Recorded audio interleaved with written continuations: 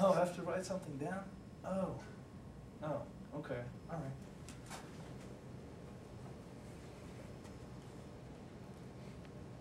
Or struggle with it.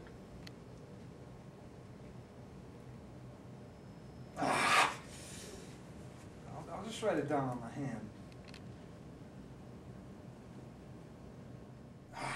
As mobile devices become smaller and pack more features, they become harder to use. The current promising trend has been towards touchscreen interfaces. However, such devices still require a high degree of context switching and focused concentration, making them hard to use in day-to-day interactions. Our solution is the multimobile finger mouse. This wearable mimics mouse clicks to provide a seamless interface to any software on Google's Android.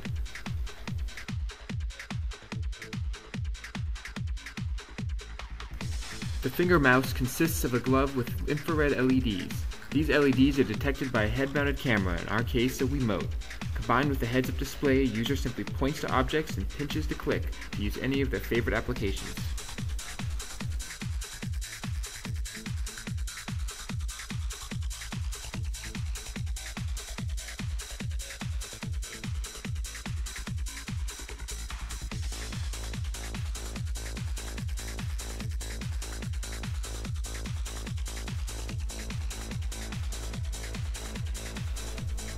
Gestures are also incorporated into the system to provide shortcuts such as turning on and off the screen.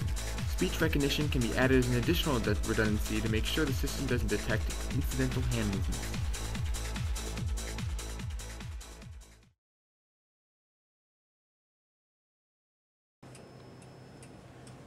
Hey man, um, Hey, I, I what's know a meeting later today, but where is it?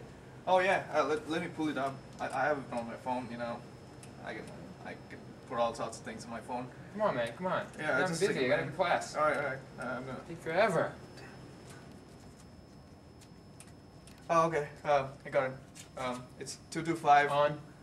North Avenue, Atlanta, Georgia. Oh, Off. okay. Cool, man. Thanks. That was awesome. Uh, I'll catch you later. Hey, uh, can you tell me when the party is? Where oh yeah, is? yeah, no problem. Uh, on. Okay. Uh, it's uh, yeah, it's at Dave's place, four o'clock. Better be there, man.